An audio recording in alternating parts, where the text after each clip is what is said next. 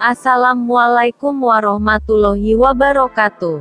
Halo apa kabar guys, ketemu lagi. Sama asisten Hardi Saputra. Di channel yang sangat sederhana ini. Video kali ini. Gue mau mengajak kalian sekaligus malam mingguan di Marina Bay, Singapura. Saat ini gue lagi berada di stasiun Blue Online dan ingin menuju stasiun Marina Bay, menggunakan MRT. Ayo guys, ikutin video ini terus. Oh iya, sebelum kalian menonton, bagi yang belum subscribe, jangan lupa subscribe dan aktifkan tanda loncengnya.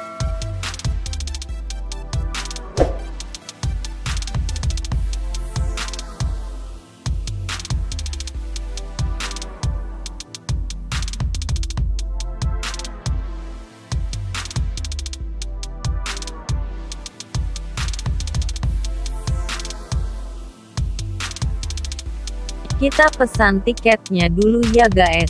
Harga tiket menuju stasiun Marina Bay dari stasiun Bunlai yaitu 2 dolar Singapura. Satu kali jalan.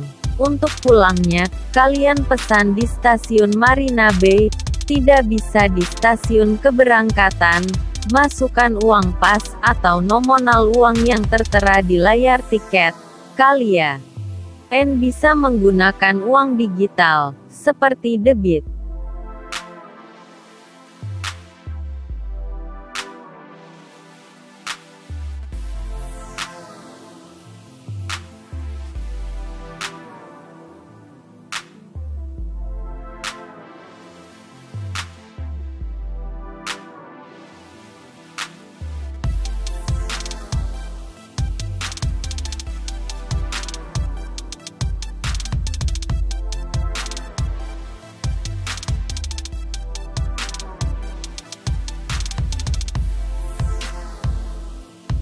Nanti kita transit di stasiun Raffles Place.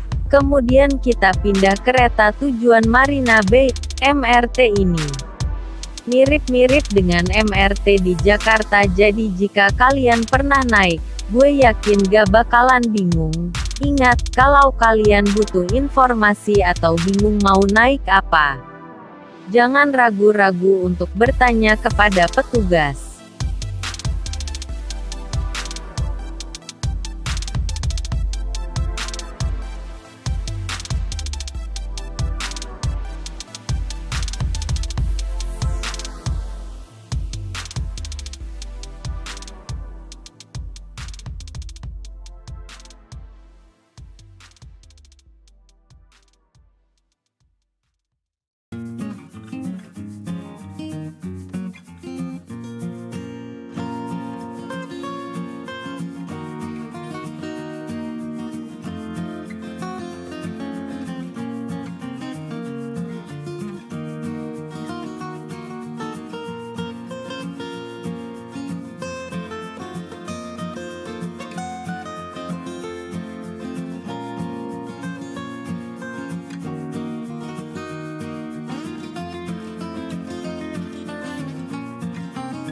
Akhirnya sampai juga kita di stasiun Marina Bay. Perjalanan kurang lebih 45 menit. Ayo guys, ikutin video gue terus ya. Gue akan mengajak kalian melihat-lihat dan keliling. Sambil malam mingguan di sini.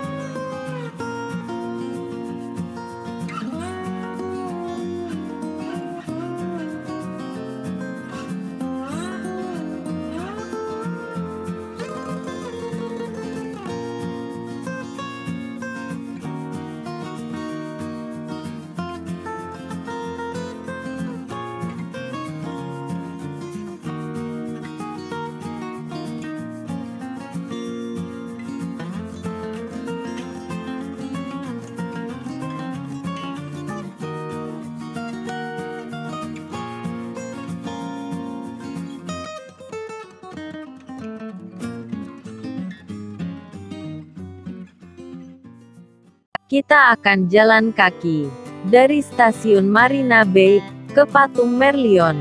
Jaraknya gak begitu jauh kok, apalagi jika kalian suka traveling. Karena menurut gue waktunya gak cukup untuk satu hari buat keliling Singapura, sambil melihat-lihat pemandangan kota. Padahal di Jakarta juga ada. Oke kita lanjut perjalanan.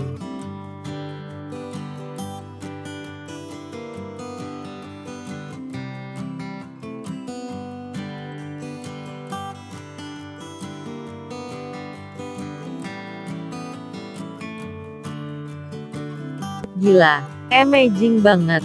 Pantes orang-orang rela keluar duit buat jalan-jalan ke sini. Lihat tuh view-nya, keren bingit kan?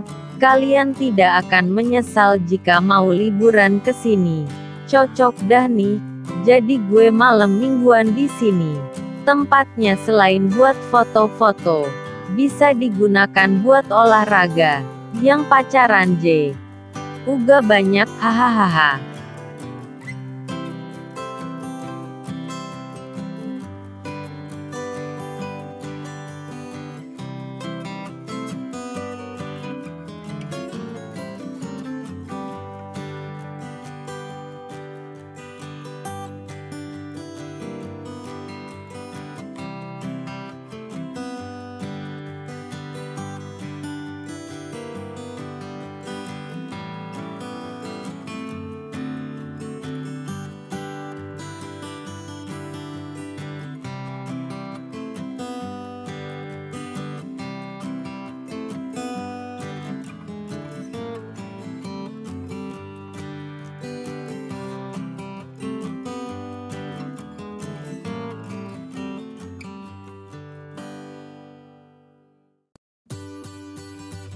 Tidak afdol kalau kita ke sini tidak ke patung Merlion.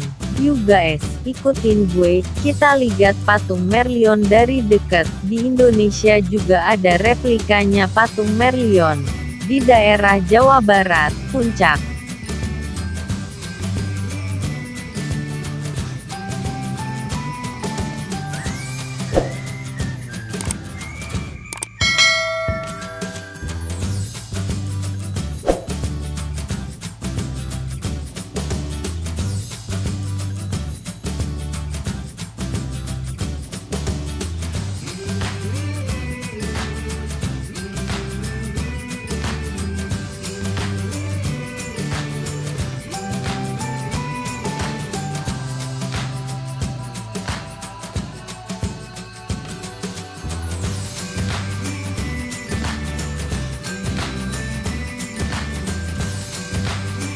Patung Merlion, ikon Singapura yang segera dibongkar untuk proyek jalan raya.